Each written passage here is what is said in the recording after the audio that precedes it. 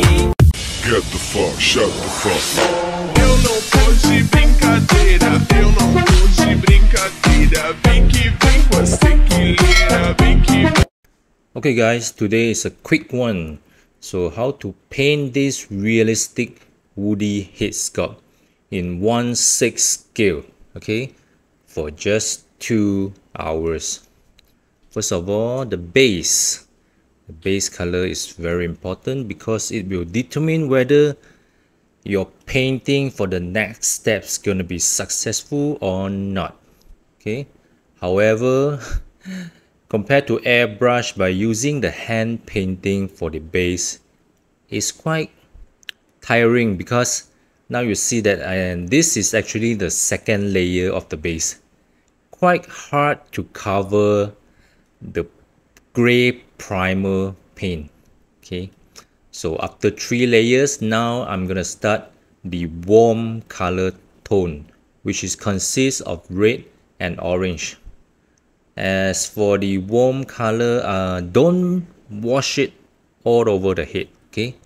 Just paint it part by part. So usually it's the tip of the nose and the ears and the cheek and now is the brown wash because you don't want your head sculpt to look very pale. With a little bit of brown wash it will looks much more natural. Okay? While you're painting the brown and the red paint a little on the lips. And now is for the cold tone. Cold tone is usually on the beard area the nose upper part of the nose and the neck. Okay? And then this painting method as usual you're gonna paint it a lot of times okay? Overlapping each other. Sometimes when you think that it's too red paint the cold tone on top of it. As for the eyes white with a little bit of green for the eyeball. And now I'm drawing the inner eyelid the red color with orange color sometimes I add a little bit of, of the pink and the base color the flash flash tone base color now for the eyeball I'm using a very dark green to shape out the eyeball shape first okay? Very thin layer of paint I mean very watery sculpt it up slowly like I said that uh, before that I really hate painting the eyeball but now painting eyeball is the my most looking forward part because it's kind of fun already when you get used to painting the eyeball. I'm still practicing to paint it better each time. For the eye, double eyelid, I've used a brown, okay, very watery to shape out. So you can see the contrast between the eye, double eyelid and the skin.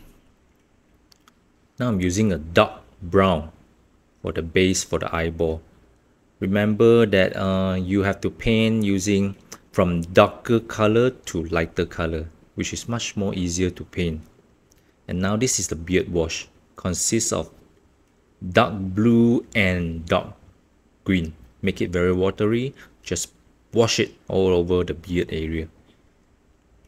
Now for the eyebrow. Sorry the camera doesn't focus focus on my hand.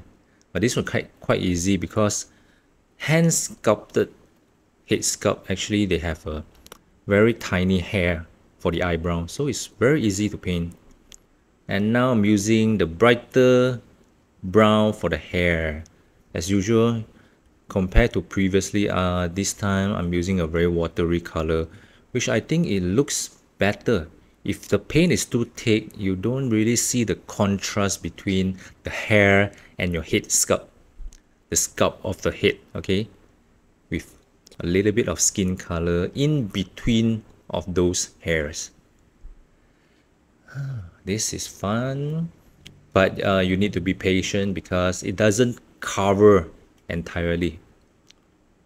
And for the eyes this Citadel glossy gel it will makes your eyes look so good. Okay wait for it to dry.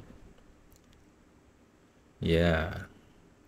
But I think the head is too brown or too red like a red head so now I'm doing the darker brown wash to tone it down which I think it looks better than the red one. Okay now you can see it covers a little and with a little bit of contrast. And this is it.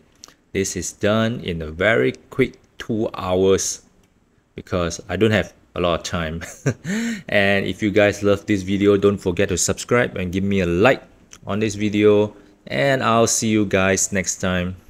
Goodbye